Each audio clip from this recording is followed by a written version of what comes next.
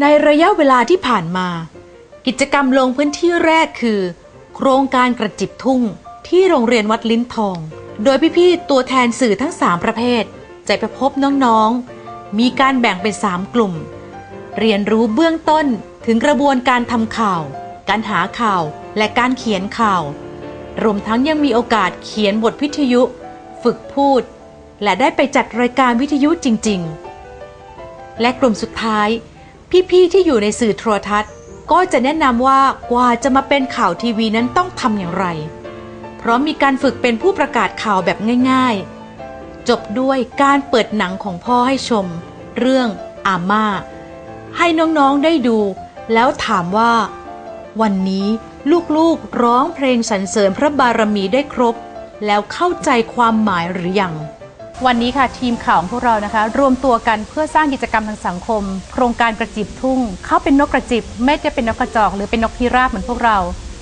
เราสอนกันแบบอย่างลูกทุ่ง มาสอนด้วยประสบการณ์ เด็กพวกนี้จะเติบโตขึ้นไปเป็นคนที่มีคุณภาพบนทุ่งรวงทองในจังหวัดอ่างทอง แล้วจะเติบโตขึ้นไปเป็นคนที่ทั้งเขียนข่าวและเป็นข่าวได้อย่างมีคุณภาพ เราสอนให้พวกเขาคิดเป็นแล้วคิดอย่างไร โดยเฉพาะในเรื่องของการคิดในเรื่องดีๆ รอบตัวค่ะ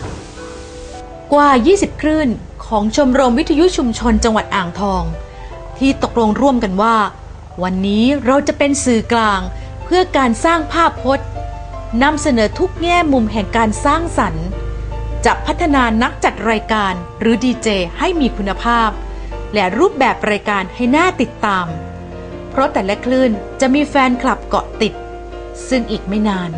โครงการล้อมใจปลูกจิตดีเจก็จะเริ่มดำเนินการ เป็นมิติใหม่ของคนทำวิทยุชุมชนในจังหวัดอ่างทอง ในนามของสมาคมสื่อมวลชนจังหวัดอ่างทองนะครับซึ่งพวกผมในส่วนของสื่อวิทยุนะครับ ก็จะ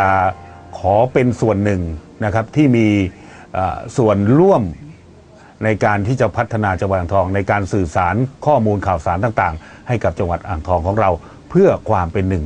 แล้วก็ความรักความสามัคคีของคนในจังหวัดอ่างทองครับ เราเชื่อกันว่า นี่เป็นวันเวลาที่ทุกคนรอคอย เป็นการเริ่มต้นที่ดี ถึงแม้จะแสนยากและเต็มไปด้วยปัญหานานับประการ แต่ถ้าเรารวมกันจับมือเดินฝ่าฟันไปถึงฝั่งฝันได้สำเร็จ ร่วมกันคิด ร่วมกันทำในเรื่องดีๆ โดยความร่วมมือของทุกภาคส่วน ใดๆที่ยากเย็น ก็จะราบรื่น เต็มไปด้วยรอยยิ้มในที่สุด。